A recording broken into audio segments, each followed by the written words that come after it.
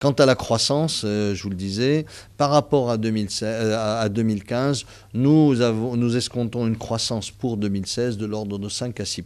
Nous avons dû euh, véritablement faire de très très gros efforts, euh, beaucoup plus importants qu'on avait prévu de le faire,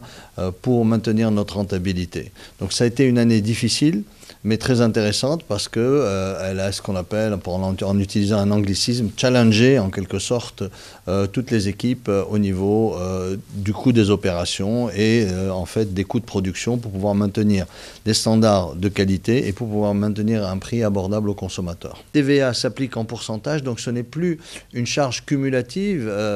juste en additionnant, c'est une charge multiplicative. C'est encore plus embêtant et donc c'est un phénomène inflationniste sur le marché euh, le consommateur doit être préparé. Mais le consommateur aussi doit savoir euh, que les producteurs, euh, enfin du moins nous déjà à Rouiba, ont fait énormément d'efforts avec absolument tous nos fournisseurs pour revoir absolument toutes les politiques de prix des fournisseurs nationaux et internationaux pour que les prix soient revus légèrement à la baisse pour réduire l'impact de ces augmentations sur les produits.